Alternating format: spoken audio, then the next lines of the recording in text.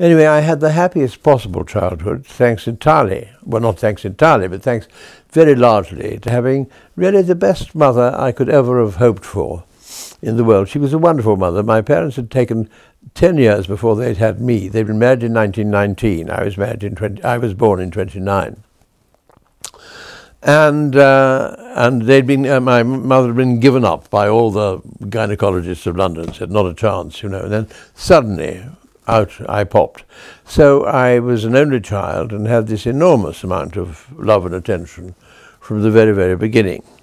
And my mother was a marvelous educator from the age of about, I should think, literally three or four. Uh, I would scramble into her bed every morning, still warm from the body of my father, and uh, we'd start lessons. And we'd have lessons in history, which is all the sort of stories of English history that you might imagine. Little Arthur's England was the book at the time that was read. I was taught to read with a wonderful book called Reading Without Tears. And Reading Without Tears, I think I'm, I'm going to even to quote you a little extract from it.